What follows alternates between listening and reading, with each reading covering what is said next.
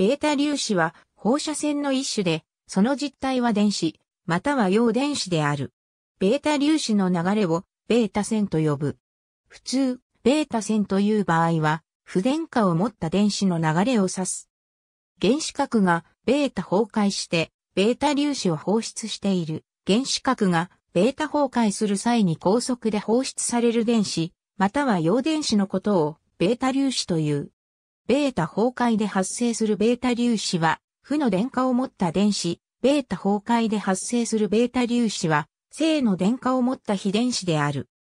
なお、熱電子や光電効果により放出された電子、オージェ電子など、あるいは体生成によって発生する電子体、三統一生成により、起動電子核から弾き出される電子などの中性子のベータ崩壊以外の原因で放出された電子はベータ粒子とは呼ばれない。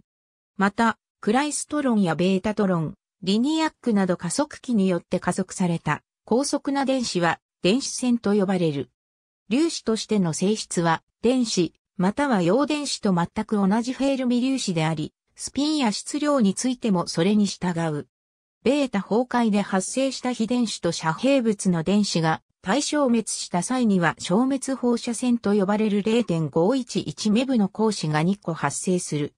ベータ粒子が原子と作用して軌道が曲げられる様子、ベータ崩壊後、高速で放出されるベータ粒子の流れをベータ線という。ベータ線は、アルファ線や中性子線などと同じ粒子放射線の一種で、アルファ線と同じ電離放射線である。放出されてエネルギーを失うまでの移動距離は、ベータ崩壊時に受け取ったエネルギーを使い切るまでであるが、同じ放射性物質から放出されるベータ粒子であっても、常に同じエネルギーを受け取るとは限らず、ほぼすべての場合において広いエネルギーの幅を持つ。そのためベータ粒子の否定を表すときは、放出される最大のエネルギーを持つ、ベータ粒子の否定とする。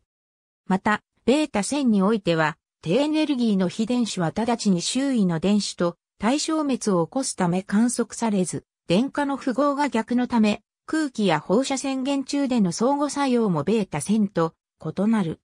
そのため、ベータ線とベータ線は仮に最大エネルギーが同じであったとしても異なったスペクトル形状を示す。ベータ粒子は電荷を持っているため、その移動過程で物質中の原子核や軌道電子と影響を及ぼし合う。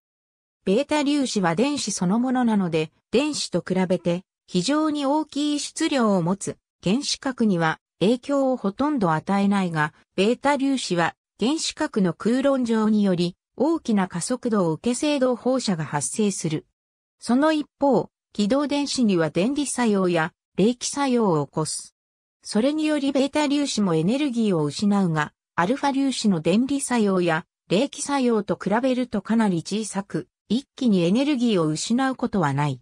したがって、アルファ粒子と比べてエネルギーを失うまでに長い距離を移動し、広範囲に影響を及ぼす。下記の遮蔽対比図でアルファ粒子と比べて厚い板が必要なのはこのためである。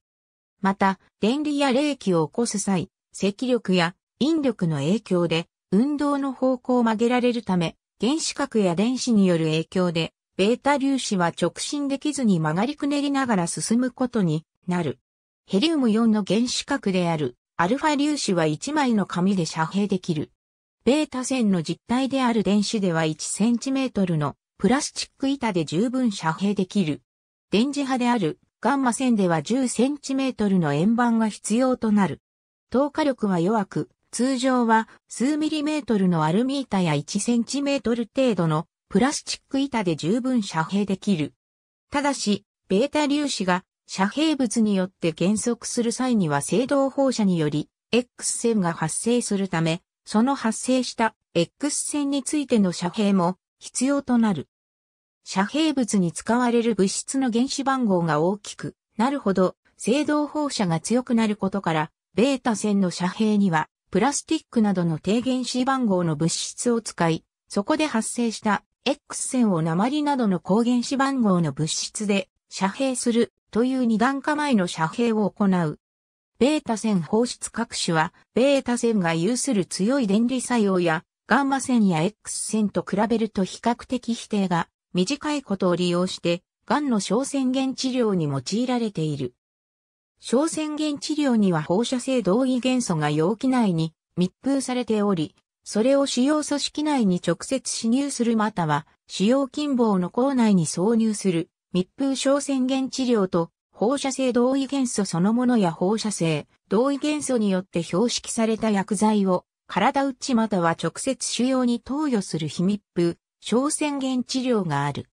密封小宣言治療で利用されるベータ線放出各種には 125i、137CS、192IR、198AU などがある。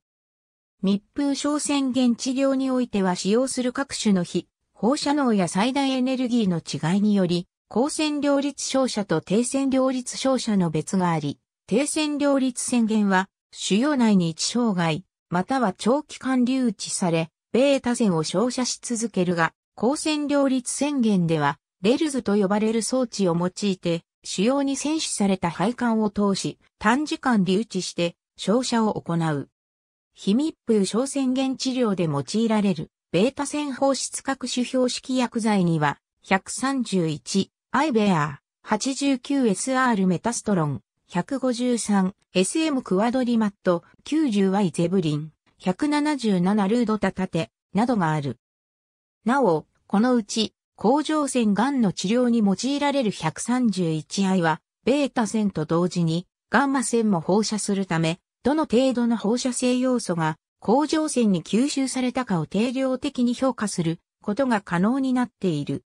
さらに2000年代以降には、ベータ線よりも強い電離作用、より短い否定を持つアルファ線を放射線治療に利用することが模索されている。詳しくは、アルファ線硫黄放射性同位元素としてを参照せよ。1898年、アーネスト・ラザフォードが天然ウランから2種類の放射線が出ていることを発見し、それぞれアルファ粒子、ベータ線と名付けた。ベータ線の正体である電子は1897年に、陽電子は1932年にそれぞれ発見された。ありがとうございます。